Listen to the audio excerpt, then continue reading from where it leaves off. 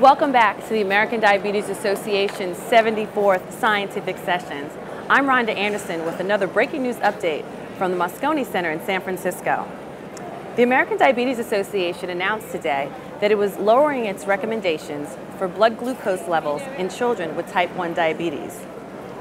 These changes reflect the most current scientific evidence and are better aligned with international standards. The association now recommends that children with type 1 under the age of 19 strive for an A1C level lower than 7.5%, A1C being a measure of a person's average blood glucose over the last two to three months. Previously, the association's guidelines stated target blood glucose levels could be as high as 8.5% for children under 6, 8% for children 6 to 12, and 7.5% for adolescents.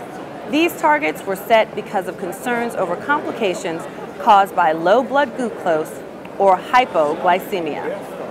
However, research now shows that prolonged hyperglycemia, high blood glucose levels, can lead to the early development of serious complications in children, such as cardiovascular disease and kidney disease. These complications were once believed to occur only in adults. There will always be concerns about hypoglycemia, but we now have better tools to monitor it. The evidence shows that there is a greater risk of harm from prolonged high blood glucose if children keep an A1C of 8.5% over time. The authors of the association's new position statement emphasize that while the 7.5% target is evidence-based, blood glucose and A1C targets must be personalized for the best and safest results in children with type 1. The guidelines are part of a new position statement that addresses the comprehensive care of people with type 1. In the statement, the American Diabetes Association also clarifies the differences between type 1 and type 2 diabetes, saying they are very different diseases that must be managed differently.